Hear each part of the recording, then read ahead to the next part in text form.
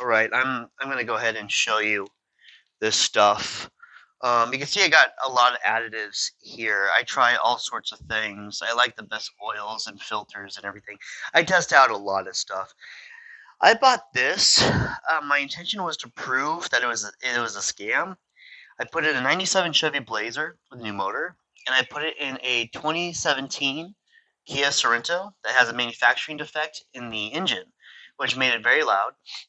It was a perfect thing to test it on because um, when I tested the oil on here and I took it into a lab, we found that there was a lot of metal in the oil due to the manufacturing defect. And what happened is Kia mentioned that they manufactured these things wrong. These engines were just breaking like crazy.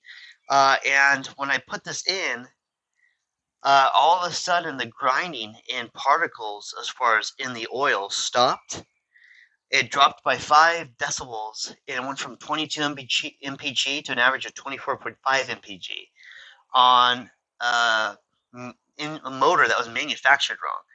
Uh, in uh, really cold weather, on a cold start, it's super quiet now compared to before. It's been over a year. I've done oil changes. Oh, hey, kitten. That's a uh, precious cat. We always feed him. He gets wet food every day. And uh, isn't he sweet? He's such a sweet little kitty. He's such a sweet little kitty. He's been here for years. Anyway, not enough about that. But anyway, yeah, this stuff absolutely works. I have no idea why. I, I got no explanation for it. Um, it seems like it really is what they claim for it to be. Is the only thing I could think of because we haven't had any problems with either car.